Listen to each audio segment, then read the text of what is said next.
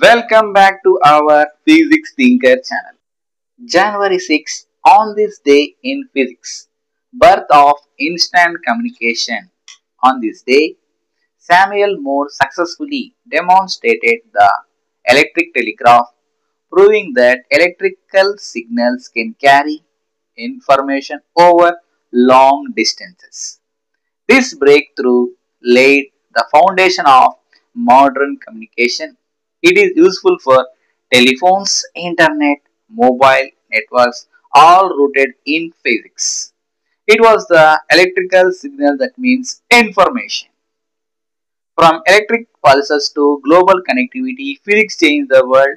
Physics behind modern technology.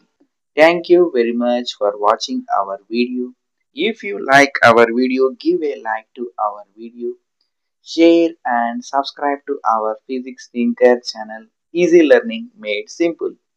And also click on the notification bell to get more cool science updates. Bye.